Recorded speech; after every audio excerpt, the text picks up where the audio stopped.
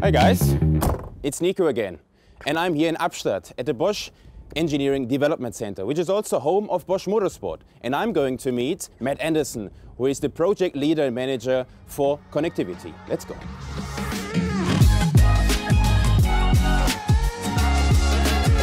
I'm Matt Anderson, project leader of connectivity with Bosch Motorsport. I've been working with Bosch for about 12 years uh, here in Abstatt, Germany. Hey Matt. Hey. Good to see you. Yeah, thanks for coming. Thanks. Um, we're talking about Race Connect, Bosch Race Connect. It's a telemetry system. But yeah. I mean, telemetry systems are used for over 30, 35 years now in motorsports. But uh, what's the difference? How does our system work? Well, a lot has, uh, a lot has changed since then. So um, the biggest key difference is in the past, uh, telemetry systems were all point to point. And that means you had a massive infrastructure to set up for Le Mans or Nürburgring or whatever, mass antennas and, and getting there a few days ahead of time and very high expense to do that. The core of our system is the Race Connect cloud platform, which takes in all data from our devices on 4G LTE. That means there's no infrastructure set up whatsoever. You just get to the track, you plug everything, you switch on, and the infrastructure is already there. How, how long does it take actually to put it in? Is it really complex or is no, it No, it's pretty simple. So, you know, with the Bosch full system approach here, all of our devices are already meant to be, uh, to be used with telemetry, either over Ethernet or a serial interface. So it's really easy to just take the device um, and they're delivered pre-configured, so you should be able to just uh, install it in the car, switch it on, and off you go. So Matt, how are the data plans managed? So uh, in our case, we have all of the data plans managed for you. So we have the, the SIM cards built into the devices and nobody from the team has to manage the data plan. That's one of the advantages of our system. So as Bosch, uh, we have the advantage of uh, having direct connection to network partners and uh, we have roaming agreements and in certain, for certain events in certain markets, priority agreements for network priority. So that means like racing in Daytona, for example, with 100,000 of fans, uh, right. it doesn't make any difference. No, it doesn't make any difference. You have network priority there, so you can ensure from lap one, when everybody starts uploading their streams, uh, streaming video or, uh, or using social media, then you know that you're going to have race data regardless of fan load. Mm.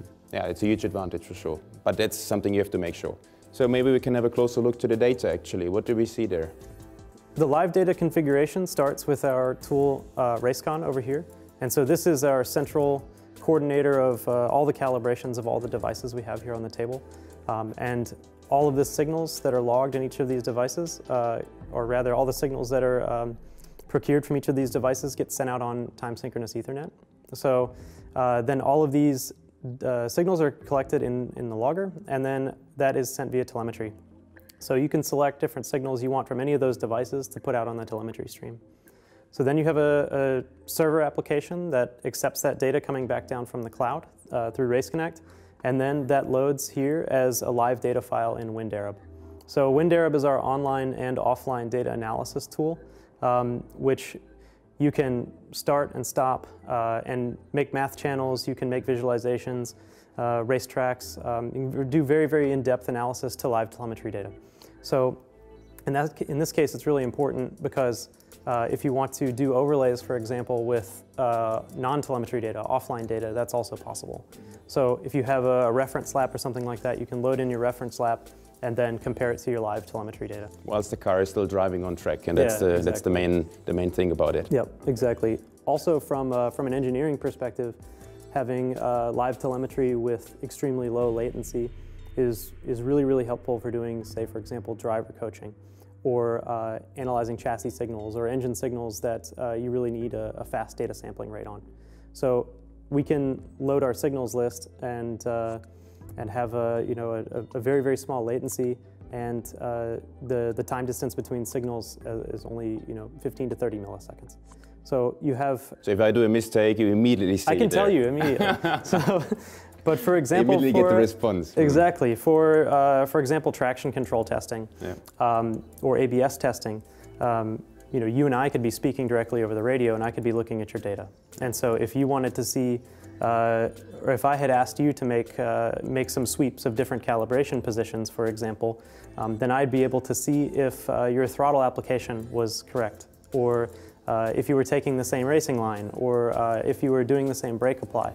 So this way we can make sure uh, that there's data integrity before we, uh, before we start uh, bringing the car in, pulling data, post-processing all of that. So you can really do that live and make a lot more changes to the car in less time. And you can also compare like live data for myself, like driving on, on the racetrack and my teammate, for example, in a 24-hour race. Yeah? Yeah. And the track develops in a, in a different style and my teammate is three times faster than me. And you can immediately tell me, okay, he's gaining time in turn one, turn three, and five. Yeah, exactly. And you can even, so with Race Connect, you can collect data from multiple transmitters and send them to uh, yeah, any combination of receivers. So that means taking data over, uh, over a public internet portal without a receiver. You can do this. So you can sit at home office and watch data from Nürburgring. Uh, or you can sit with one of those in a, in a pit box and then uh, take data from multiple receivers and compare against cars. Okay.